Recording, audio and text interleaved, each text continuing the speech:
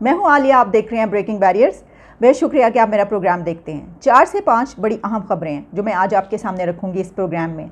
और आप समझ लीजिए कि यही खबरें पाकिस्तान के आइंदा चंद दिनों के और चंद महीनों के मुस्तबिल का पता देंगी कि क्या होने लगा पाकिस्तान में। एक तो मैं आपको पहले ही ये बता दूँ कि लॉन्ग मार्च तो ठप हो चुका फ्लॉप हो चुका है, धड़न तख्ता हो चुका लॉन्ग मार्च का अब होता हुआ नज़र नहीं आ रहा। इमरान खान के हाथ से गेम निकल चुकी है, क्यों आपको बताई देती हूँ?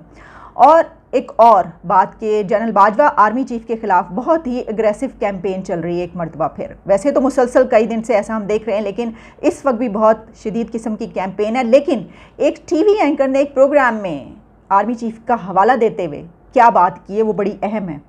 और इसी के साथ एक दो और ख़बरें, और साथ में प्रेसिडेंट पुटन के हवाले से बड़ी अहम खबर आ रही है, बड़ी अलार्मिंग न्यूज़ वो क्या है, वो भी मैं आपके सामने रखूँगी। लेकिन आगाज़ करते हैं आर्मी चीफ जनरल बाजवा के ख़िलाफ़ चलने वाली कैंपेन इस वक्त। इस वक्त सोशल मीडिया पे तो ये सब कुछ हो ही रहा है। सोशल मीडिया पे दो से तीन ट्रेंड्स ऐसे चल रहे हैं जिसमें यही बात की जा रही है। एक ट्रेंड है, वो कौन था? और एक ट्रेंड बाजवा के नाम से चल रहा है। वो कौन था? एक ट्रेंड जो चल रहा है, उसमें कुछ ऐसे स्क्रीन एक टेलीविज़न प्रोग्राम में मेन स्ट्रीम मीडिया के चैनल एआरवाई के मेन स्ट्रीम प्रोग्राम में कुछ ऐसे ग्राफिक्स यानी जिसे आप टिकर्स कह सकते हैं स्क्रीनशॉट्स कह सकते हैं, वो लगाए गए और दिखाए गए हैं, जिसमें ये कहा गया कि वो कौन था जिसने मुल्क को सियासी अदम इस्तेकाम से दो चार किया, या जिसने मुल्क को डिस्टेबलाइज करने की कोशिश की।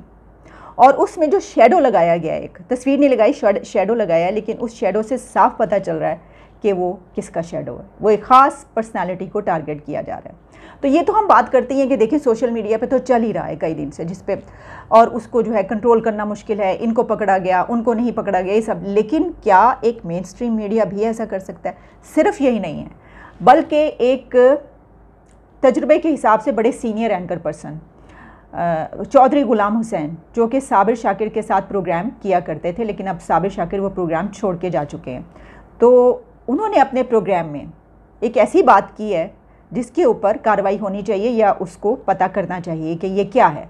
क्योंकि उन्होंने अपने प्रोग्राम में ये कहा कि आर्मी चीफ जनरल बाजवा ने खुद से उनको ये बताया है कि नवाज़ शरीफ की जब हुकूमत थी तो नवाज़ शरीफ के दौर में, नवाज़ शरीफ और उनकी हुकूमत ने सी पैक में से कोई नाइन बिलियन डॉलर्स का खांचा लगाया। यानी उसमें ये उन्होंने फ्रॉड किया या करप्शन की है। नाइन बिलियन डॉलर्स नौ बिलियन डॉलर्स की उन्होंने ये करप्शन की। और कौन बता रहा है? आर्मी चीफ जनरल बाजवा किसको बता रहे हैं? खुद से?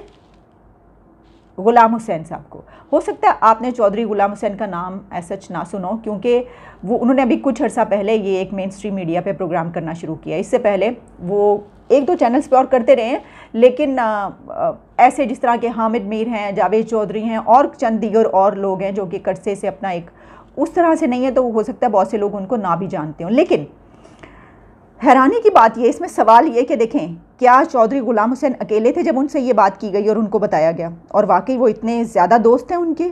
आर्मी चीफ के, और वो इतने करीबी हैं उनके, और कि वो उनको इतनी बड़ी बात बता सकते हैं। या चौधरी साहब के साथ कुछ और एंकर्स भी मौजूद थे, जिनकी मौजूदगी में ये बात की। अगर तो कुछ और एंकर्स भी मौजूद थे तो उनको सामने आना चाहिए, क्योंकि ये एक बहुत बड़ा इल्ज़ाम है। इसको क्लियर होना चाहिए, या इस पर कार्रवाई होनी चाहिए। दूसरी एक और बात ये कि बड़ी हैरानी की बात है कि उनको अगर बताया है खुद से, आर्मी चीफ ने कि उनकी, उनसे इतनी दोस्ती है कि उन्होंने खुद से उनको बताया तो वो अभी तक ये लेकर बैठे हुए थे अपने दिल में बात? कि अभी तक नहीं बताया और अभी बताया या उनको चंद दिन पहले ये बात बताई गई है? ठीक है, ये सारा जो है, ये नज, और अगर ये झूठ है, ये गलत है तो सोशल मीडिया पे तो जो होते हैं पूरी पूरी टीम्स और वो चला रही होती हैं, उनको अगर आपने क्रैकडाउन किया उनके ख़िलाफ़, अगर किया और उनमें से कुछ लोगों को पकड़ा तो फिर तो ये एक इतना बड़ा एंकर अगर टीवी पे बैठ के ऐसी बात करता है तो उसे नहीं पूछा जाएगा। अच्छा जहाँ एक तरफ़ ये तो मैंने आपको दूसरी बात ये कही थी कि आप ये समझ लीजिए कि जो लॉन्ग मार्च है, उसका धड़न तख्ता हो चुका है। ख़त्म। नज़र नहीं आ रहा कि इमरान खान अब लॉन्ग मार्च कर पाएँगे। खान साहब ने जितने उनके कार्ड्स थे, जितने हरबे थे, जितने अल्फाज थे, जितने जुमले थे, जितना कुछ वो बोल सकते थे, वो सब कुछ उन्होंने करके देख लिया कि किसी तरीके से उनके पास सितंबर से पहले हुकूमत आ जाए। लेकिन वो ऐसा अभी तक नहीं कर पाए। अब उन्होंने क्या किया कि बॉल किसके कोर्ट में है? सुप्रीम कोर्ट के। और सुप्रीम कोर्ट को उन्होंने आज भी जो तकरीर की है, उसमें उन्होंने कहा है कि हमारी प्लानिंग ठीक नहीं थी लॉन्ग मार्च की। अब हम सही प्लानिंग करके आएँगे जब सुप्रीम कोर्ट ये रूलिंग दे देगा कि हम आएँगे और हमें प्रोटेक्शन दी जाएगी और हमारे खिलाफ कोई कार्रवाई नहीं होगी। ये किस किस्म का बयान है? कैसी स्टेटमेंट है? यानी दूसरे लफ्ज़ों में खान साहब ये कह रहे हैं कि अगर सुप्रीम कोर्ट ने रूलिंग दी तो हम लॉन्ग मार्च करेंगे और अगर सुप्रीम कोर्ट ने हमारे हक में रूलिंग ना दी जो हम चाह रहे हैं, उन्होंने हमारे लिए वो ना किया तो फिर हम लॉन्ग मार्च नहीं करेंगे। और इसमें एक और बात कि देखिए, उन्होंने कहा हमारी प्लानिंग ठीक नहीं थी। अब प्रॉब्लम पता क्या है? खान साहब, जब ये उनका फेलियर सामने आया हुकूमत का कि वो कुछ भी नहीं कर पा रहे तो उन्होंने क्या उनके पास जवाब था? उनके पास सिर्फ़ एक लॉजिक था कि उन्होंने कहा कि हमारी, आने के थोड़े दिन के बाद ये कहा था कि देखिए, हमारी प्लानिंग नहीं थी हुकूमत में आने की। अब आप ये देखें कि उनकी हुकूमत जो है, वो कितने अरसे से वो स्ट्रगल कर रहे हैं। हाँ? तो डेकेट्स गुजर गए और इतने अरसे के बाद उनको पहली मरतबा हुकूमत मिलती है और वो ये कह रहे हैं कि हमारी प्लानिंग नहीं थी। अच्छा उसके बाद जब के पी के की हुकूमत उनको मिल गई तो आपकी तो के पी के की हुकूमत पहले काम करती रही है। फिर भी आपको तो तजर्बा है एक पूरा सूबा चलाने का प्रोविंस चलाने का। और जब आप फेडरल में आते हैं और आपको हुकूमत मिलती है तो आप उसमें फ़ेल हो जाते हैं। और फिर आप अगर ये कहते हैं तो प्लानिंग सारा कसूर जो है वो प्लानिंग का भाई। बस प्लानिंग जो है ना, वो ले बैठी है खान साहब को। और इसने कुछ नहीं करने दिया। प्लानिंग सही नहीं होती। अब खान साहब को ये चाहिए कि कोई बाहर से मंगवाएँ। प्लानर्स अमेरिका, इंग्लैंड से, लेकिन अमेरिका से प्लानर्स वो कैसे मंगवा सकते हैं? वो तो उनके ख़िलाफ़ हैं। वो तो कह रहे हैं, हम ग़ुलाम थोड़ी हैं उनके। तो ग़ुलामी की बिना पे प्लानर्स तो बाहर से नहीं आ सकते। तो उनके अपने ही प्लानर्स जो हैं, वो प्लानिंग नहीं कर पा रहे अब इसका सिलसिला ये निकल रहा है कि ऐसा नज़र आ रहा है कि लॉन्ग मार्च नहीं होगा। लेकिन अभी हमने देखना है कि सुप्रीम कोर्ट, अब अगर लॉन्ग मार्च होता है और इमरान खान के हक में रूलिंग आती है तो आप समझ लीजिए कि सुप्रीम कोर्ट लॉन्ग मार्च का एडवेंचर चाहती है। हम तो ऐसे ही समझेंगे, क्योंकि खान साहब ने खुद कह दिया कि अब तो ये सुप्रीम कोर्ट पर डिपेंड करता है। तो अब लॉन्ग मार्च सुप्रीम कोर्ट ने करवाना है, या लॉन्ग मार्च सुप्रीम कोर्ट ने नहीं करवाना? तो हम देखते हैं कि हमारे जजेस साहिबान सुप्रीम कोर्ट का कोई एडवेंचर करना चाह रहे हैं या नहीं चाह रहे वो पता चल जाएगा। और इस मरतबा लॉन्ग मार्च इसलिए भी इमरान खान के लिए बहुत मुश्किल साबित होगा कि वो ये एक्सेप्ट कर चुके हैं अपने मुँह से कि उनके लोगों के पास असलहा था। लॉन्ग मार्च में जो पीटीआई के लोग आए थे, उनके पास पिस्तौल थी। उन्होंने अपने पास असलहा रखा हुआ था। ये इतनी बड़ी बात है कि अब इसको हुकूमत की तरफ़ से कहा गया है कि अब तो इनको घरों से नहीं हम निकलने देंगे। क्योंकि अगर उनके पास असलहा था और इमरान खान ये जानते हैं कि उनके पास था तो इसका मतलब ये है कि मुल्क में अनारकी फैलाने की कोशिश थी।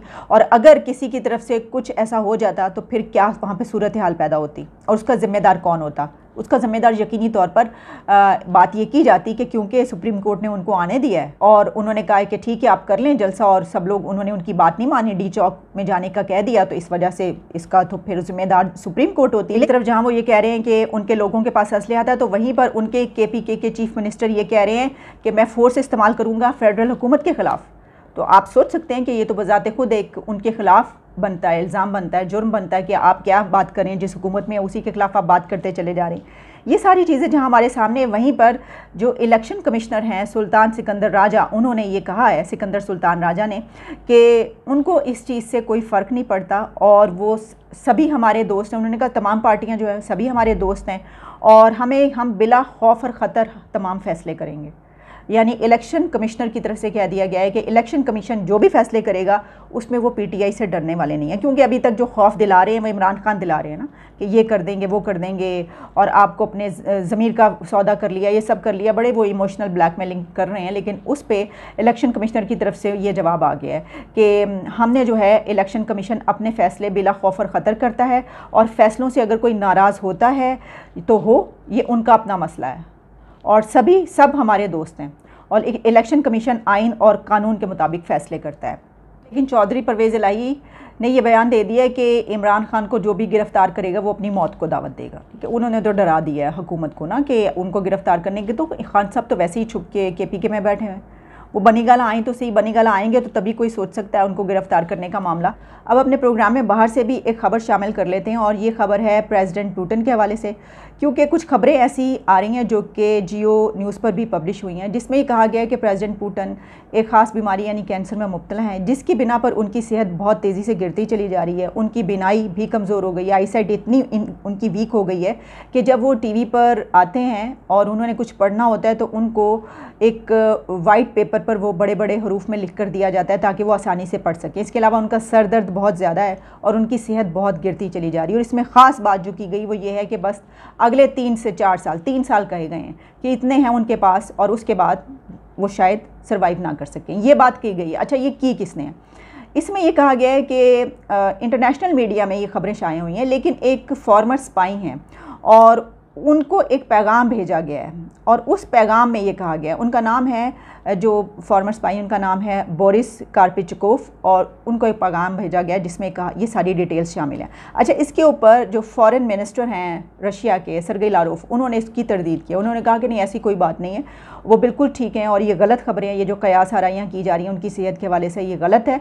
वो बिल्कुल सही सेहत में है। अब देखें अगर इसको हम खुद से तजिया करने की कोशिश करें तो ऐसा हो भी सकता है और नहीं भी हो सकता है। लेकिन ऐसा कम नज़र क्यों आता है? ऐसा लगता है कि ये झूठी खबर इसलिए है कि प्रेसिडेंट पुटन उन चंद लीडर्स में उनका शुमार होता है दुनिया के, जिसको कहा जाता है कि ये बड़े फिट हैं। अच्छा उनकी ऐसी वीडियोस भी आई आती रहती हैं, जिसमें वो किसी जगह पर स्विमिंग करते हुए दिखाई दे रहे होते हैं, किसी जगह पर वो पंजाजमाई कर रहे होते हैं, किसी के साथ। ऐसी पिक्चर्स वीडियोस अक्सर उनकी आती रही हैं। तो उससे तो बिल्कुल नहीं लगता। और फिर जब उनका वो कहीं किसी जगह से जा रहे हो, अपने ऑफ़िस से निकल कर जा रहे हो, कहीं पर जा रहे हो, ऐसी वीडियोज़ भी आ चुकी हैं, क्योंकि बहुत पॉपुलर लीडर हैं। दुनिया के हैं ही, लेकिन उनके अपने कंट्री में बहुत ज़्यादा वो पॉपुलर है।